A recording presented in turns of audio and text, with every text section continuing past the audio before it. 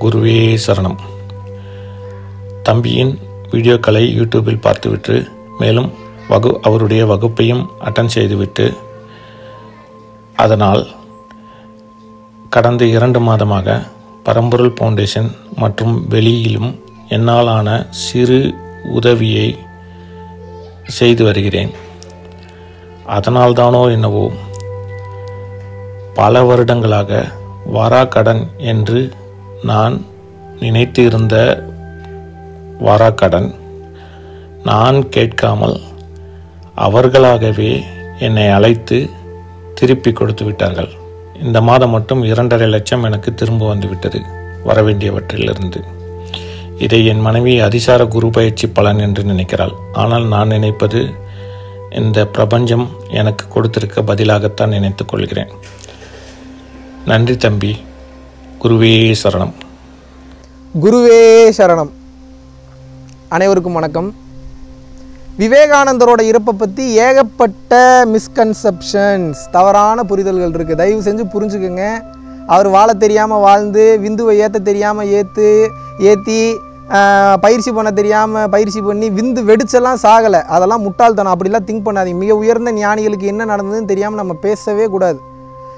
அவர் வந்து ரொம்ப கிளியராக சொல்லிட்டு போயிட்டார். இது வந்து பார்த்தீங்கன்னா பல இடங்களில் ரொம்ப தவறாக பரப்பப்பட்டுட்டு வருது. எனக்கு உண்மையாகவே இந்த சித்தர்கள் மகான்களுக்கு ஏதாவது ஒன்று அவங்களோட அவங்க அவங்க ஒரு மிகப்பெரிய உலகத்திலேயே மிக உயர்ந்த சாதனையை பண்ணியிருக்காங்க. ஆன்ம சாதனை என்ன? அவ்வளோ சாதாரணமான விஷயமா மனதை ஒடுக்கி கையாண்டு அழிச்சு அந்த நிலைக்கு போகிறதுக்கு சாதனை பண்ணியிருக்காங்க. அவங்கள அது ரொம்ப தப்பான ஒரு ஒரு அரசல் புரசல் செய்தி வரும்போது எனக்கு அது கேட்குறதுக்கு ரொம்ப கஷ்டமாக இருக்குது பேசாமல் இருக்க முடியல. இதெல்லாம் கான்ட்ரவர்சி ஆகும்னு தெரியும். இருந்தாலும் என்ன பண்ணுறது அது சரி ஓகே பேசணுன்றதுக்காக தான் இந்த வீடியோ நல்லா புரிஞ்சுக்கோங்க. இந்த உடம்பு ஒரு தேவை இருக்கிற வரைக்கும் தான் ஒரு அரிஜில் செயல்பட்டுக்கிட்டே இருக்கும். உடம்புல இருக்கக்கூடிய ஒவ்வொரு செல்ஸும் இதெல்லாம் மிகப்பெரிய பாயிண்ட்ஸை கரெக்டாக நோட் பண்ணி வச்சுக்கோங்க. இது ஓப்பன் ஆச்சுனாவே எல்லாமே உங்களுக்கு படார் படார் ஓப்பன் ஆயிரும்.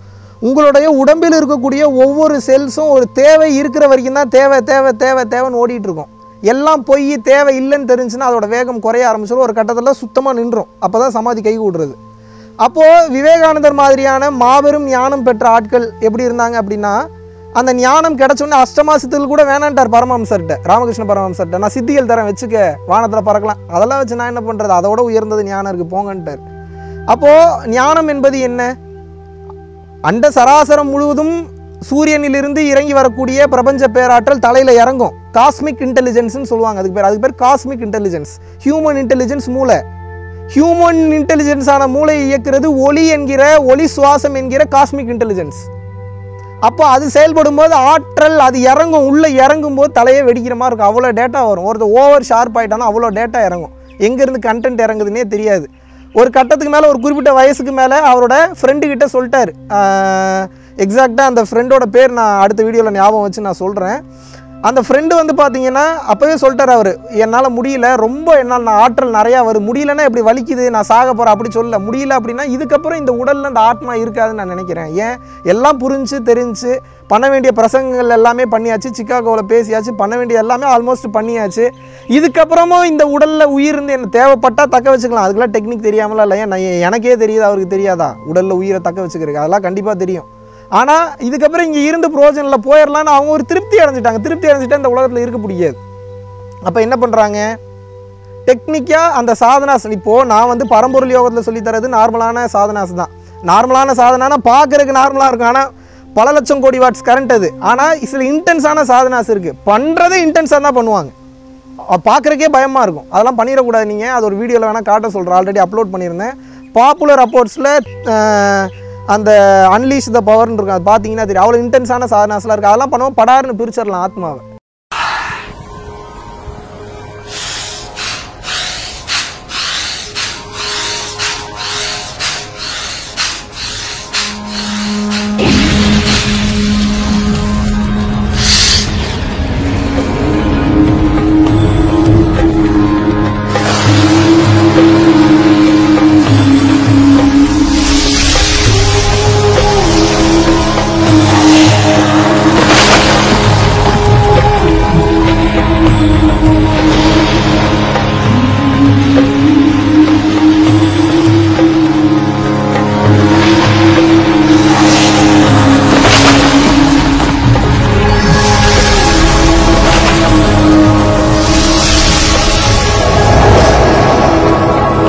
அப்போ என்னன்னா அவர் முழுமை அடைஞ்சிட்டார் இதுக்கப்புறம் இருக்கணும்னு விருப்பம் இல்லை. அதனால விந்து பிரிந்து விட்டது. இன்னொரு மிஸ்கன்செப்ஷனும் இருக்குது மக்கள்கிட்ட. விந்துவை ஓவராக சேமிச்சு வச்சோம்னா வெடிச்சிடணும் அப்படிலாம் ஒன்றும் கிடையாது. விந்துவை சேமிக்க சேமிக்க சேமிக்க சேமிக்க பெண்களுக்கு சுரோனிதம். சுரோனிதத்தை சேமிக்க சேமிக்க சேமிக்க சேமிக்க என்ன ஆகும்னா நீங்கள் நினைக்கிறீங்க ஃபுல்லாக சேவும் வெளில போவே போகாது. அப்படிலாம் கிடையாது. அது கொஞ்சம் கொஞ்சமாக வெளில போகும். எப்போ போகும்? தூக்கத்தில் வெளில போகிறது நிறையா போகணும். அதை சொல்ல. நீங்கள் அதுலேயே சேமித்தா கூட பிசிறு கசடி என்பது நார்மலாக நீங்கள் யூரின் போகும்போது நீங்கள் செக் பண்ணிங்கனாவே அந்த கசடுகள் வந்துக்கிட்டே தான் இருக்கும். பிசு பிசுன்னு இருக்கும். பார்த்தீங்கன்னா தெரியும். அப்போ அதுக்கு என்ன காரணம்னா கசடுகள் வெளியேறி உள்ள இதுதான் ரசமணியை சுத்தம் பண்ணுறது நல்லா புரிஞ்சுக்கணும். விந்துவை சேமிக்கும் போதோ ஸ்ரோனிதத்தை சேமிக்கும் போதோ இதுதான் உண்மையான ரசமணி கட்டுறது. அந்த கசடுகள் வெளியேறி அந்த ரசமணி சுற்றி இங்கே ஏறி நின்றோம். அது முன்னாடியே சொல்லியிருக்கேன் நான் ஒரு டைம் சொல்கிறேன் இந்த இடத்துல ஏறி நின்று கட்டியாக கட்டிடுச்சுன்னா அதுதான் பிரம்மச்சரிய யோகம். இது சிம்பிளான மேட்ரு ஒரு நாள் இதை டீட்டெயில்டாக பேசுகிறேன் ஏன் செக்ஸ் வச்சுக்கூடா செக்ஸே வச்சுக்கூடான்னு சொல்கிறேன் ஓஷோ செக்ஸ் வச்சு அதில் இன்பத்தை பாரு. தந்திரா பரியங்க யோகம். அவர். இவர் என்ன சொல்கிறாரு கட்டிட்ட விந்துவை கட்டி மேலே கீழே போச்சுன்னா உலகங்க மேலே ஏறிடுச்சுன்னா ஞானங்க. அவ்வளோதாங்க பெரிய பெரிய கம்பு சுத்துற இது இல்லை. அப்போ என்னன்னா அந்த விந்து கட்டுறது தெரிஞ்சிருச்சு.